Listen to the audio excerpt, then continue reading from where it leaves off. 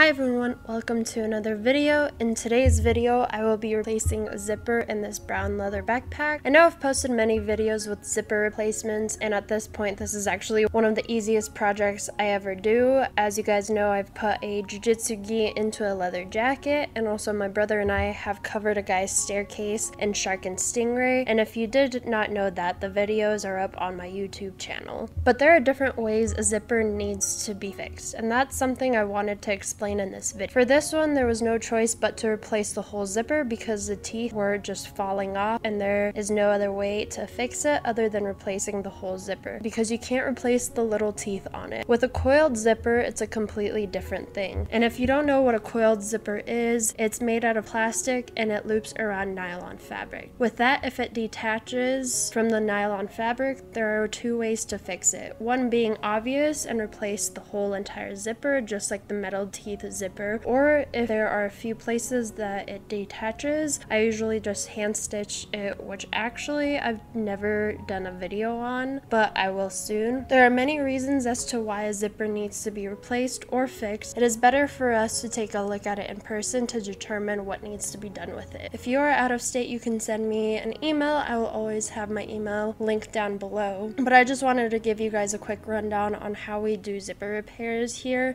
and what to look for. Also, sometimes all the zipper needs is a new zipper slide because that can be damaged too. If you see nothing wrong with the zipper teeth or the coiled zipper, it could be that the zipper slide is bent, out of place, or many other reasons as to why the zipper slide doesn't close your item. We all have something that has a zipper on it, so I hope this information helps you out. And again, you can always send me a photo. I know people will be asking how much it will cost, but the price price ranges between what needs to be done and how hard it will be. So the price always is different. It can be literally $15 or it can be somewhere over 100 So again, it just depends on how easy it is for us to do it or how complex it is. But like I said, it's better for you to just bring it in and show us what's going on or again, send me an email. But I hope you all enjoyed this video and if you're new to my channel, please feel free to subscribe and hit that bell notification notification. It notifies you when my next video is coming out. Thank you so much for watching, and I will see you in my next video.